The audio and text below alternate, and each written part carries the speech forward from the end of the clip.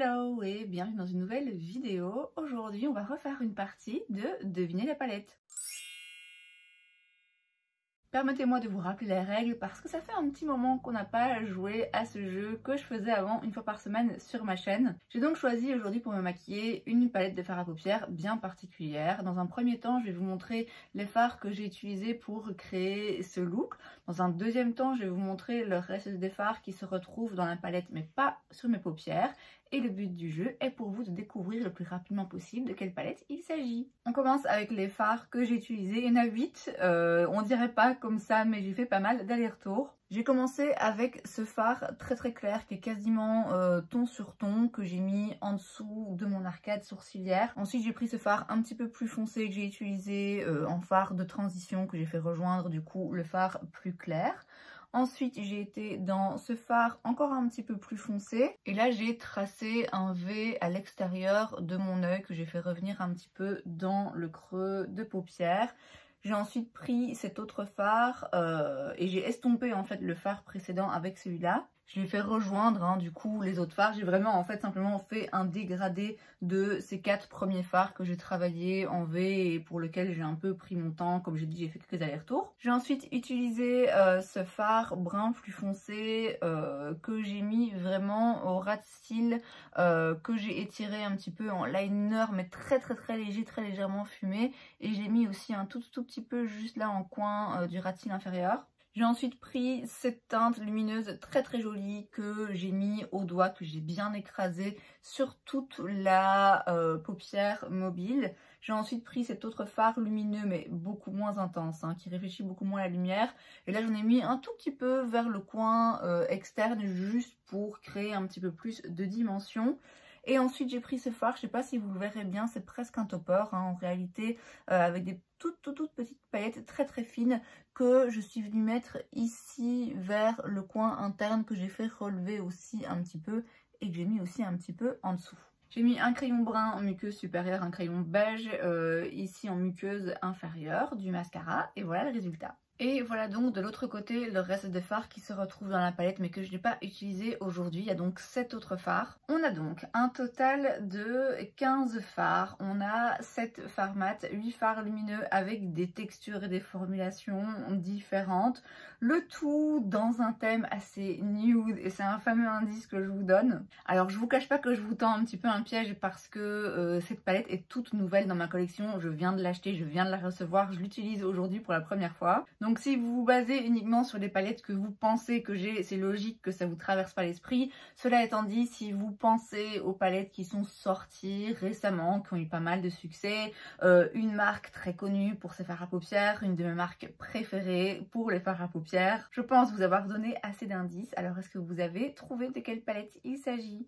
La palette que j'ai utilisée aujourd'hui pour créer ce look, c'est la I Need a Nude de chez Natasha Denona. Et voilà donc à quoi elle ressemble. Donc je vous l'ai dit, c'est la première fois que j'utilisais, encore le, euh, le papier qui protège le miroir. C'est donc une vidéo un petit peu premières impressions en plus d'être simplement un deviner la palette. Vous savez quand je fais ce jeu j'aime bien toujours donner un petit peu mon avis euh, par rapport à la palette justement que j'ai utilisée. Donc aujourd'hui ce ne sera pas un avis longuement argumenté puisque risque de me répéter c'est la première fois que j'utilise mais du coup ça va être vraiment voilà mes premières impressions, euh, mon premier ressenti après avoir utilisé cette palette une fois. D'abord en ce qui concerne l'harmonie de couleurs je dirais qu'elle est beaucoup plus versatile qu'il n'y paraît. Comme ça au premier regard, je me dis oui voilà, c'est une palette de nude. Alors je le sais, hein, c'est pour ça que je l'ai acheté aussi. Mais a priori, ça me semble être une palette que je vais utiliser juste pour créer des looks nude qui vont un petit peu tous se ressembler. Et en réalité il y a des sous-tons vraiment différents aussi bien dans les mats que dans les fards lumineux.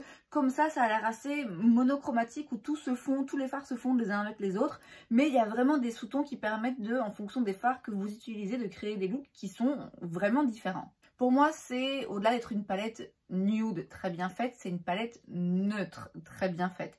Il y a des teintes qui tirent un petit peu plus vers le chaud, il y a des teintes qui tirent un petit peu plus vers le froid, mais globalement, on peut vraiment aller des deux côtés et on peut vraiment arriver à un résultat qui, de manière générale, est juste neutre, vraiment au milieu. Donc ce que j'aime beaucoup dans l'harmonie de couleurs, comme j'ai dit, une vraie diversité. On dirait pas comme ça, mais il y a vraiment vraiment moyen de faire des looks très différents.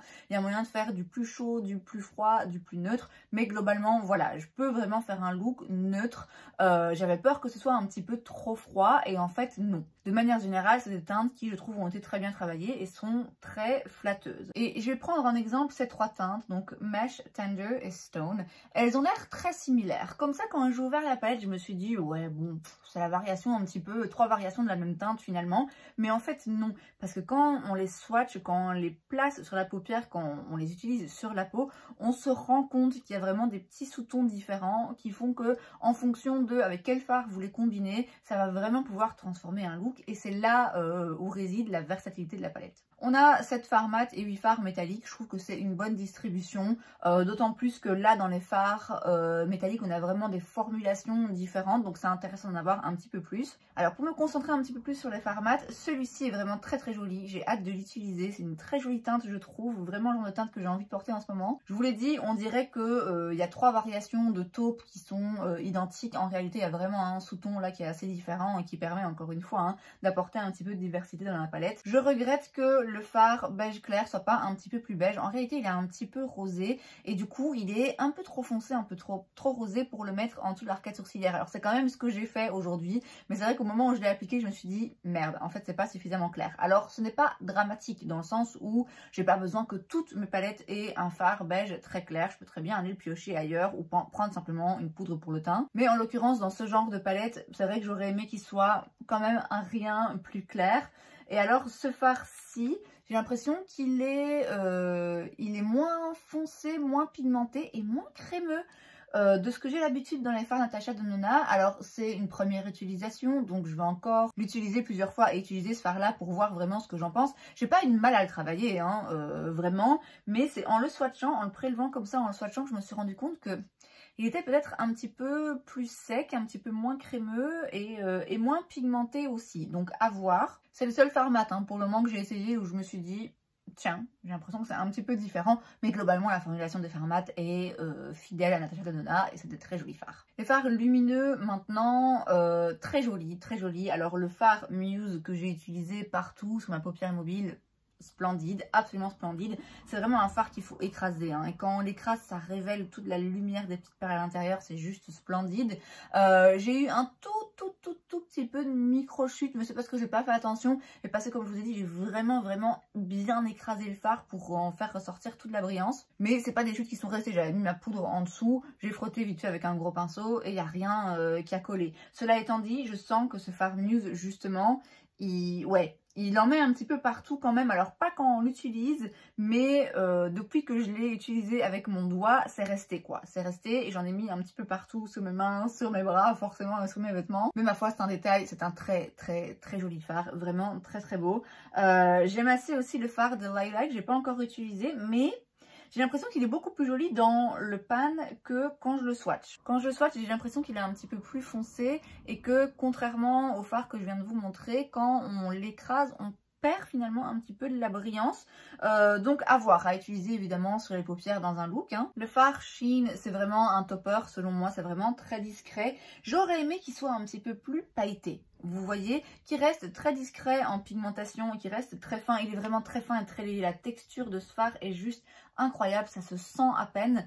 Euh, mais j'aurais aimé qu'il soit un petit peu plus pailleté. J'ai l'impression que le fard Mia, c'est un petit peu euh, le même genre de formulation très très doux. On a vraiment l'impression d'avoir rien, hein, qu'il n'y a rien du tout, mais ça, reste quand même lumineux et pailleté. Celui-ci, j'ai l'impression d'être un petit peu plus brillant que celui-là. Mais pareil, hein, ce sera à tester sur les paupières et à voir vraiment ce que ça donne dans un look. Après, on a aussi des fards métalliques plus classiques, comme le fard Ella que j'ai utilisé ou le phare Filigree qui est euh, un petit peu plus, euh, plus intense. D'ailleurs, si j'avais su, j'aurais pris celui-là. Donc pas mal de fards euh, lumineux avec des textures et des formulations et des finis différents qui permettent encore une fois hein, d'en avoir un petit peu pour tous les goûts et pour tous les looks. Donc en résumé, mon avis sur cette palette, en première impression comme ça, c'est qu'elle est beaucoup plus intéressante et beaucoup plus versatile qu'il n'y paraît.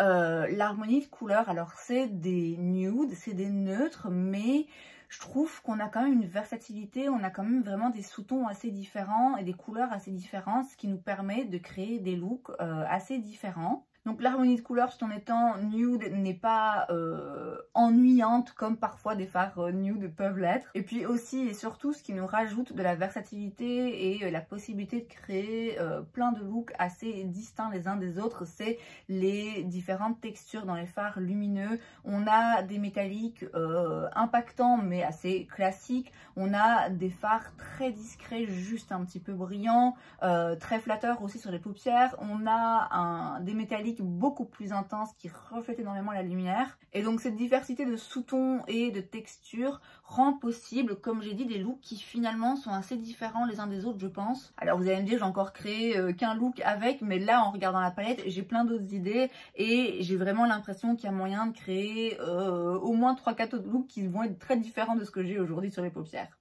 Donc très satisfaite, je trouve que c'est vraiment une palette de nude réussie. Après, en ce qui concerne euh, les détails euh, et, la mise en pratique, je suis un petit peu sceptique par rapport à ce fard brun foncé, j'ai l'impression qu'il est un petit peu différent des autres. Je trouve que celui-ci aurait dû être un petit peu euh, plus clair. Et l'idée de ce phare est très très bonne, mais dans l'exécution, je trouve que c'est exactement ça. Mais globalement, sans surprise, c'est une très belle palette, une très bonne qualité, comme à chaque fois avec Natasha Denona. Et c'est donc tout pour cette vidéo, j'espère que ça vous a plu. Si c'est le cas, n'hésitez pas à laisser un like. Vous pouvez aussi vous abonner à ma chaîne parce que c'est gratuit, donc pourquoi pas. Et moi, je vous vois la prochaine fois. Bye